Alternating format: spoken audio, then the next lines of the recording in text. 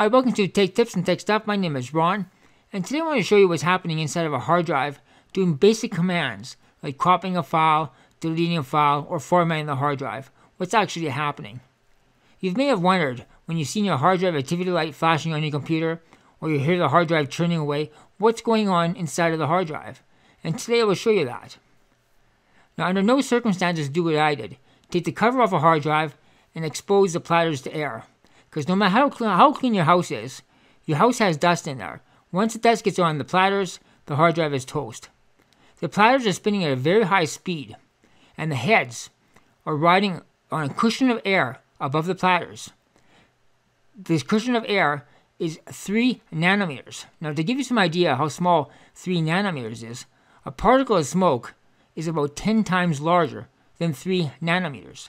So they're riding extremely close to the platters. So you have to be very careful when a hard drive is running, not to bump it or bang it, because you're risking data loss. So I just wanted to show you some basic commands, what's happening inside of a hard drive, doing basic commands. If you found this video informative, please give it a thumbs up. New videos every Monday, Tuesday, and Friday.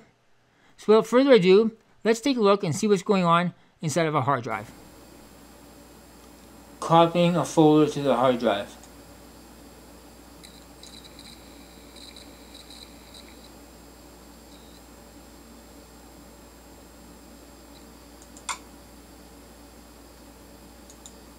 Deleting a file from the hard drive.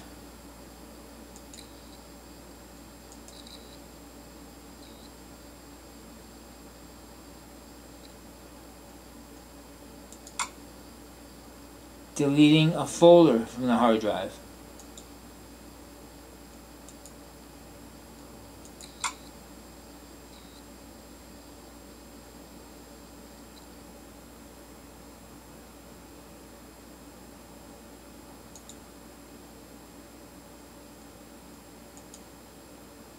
Doing a quick format of the hard drive.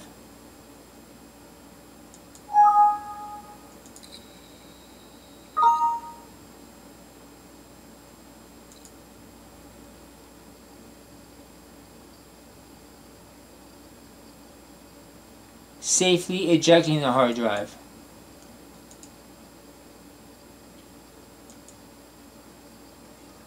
Notice the heads will park and will spin down.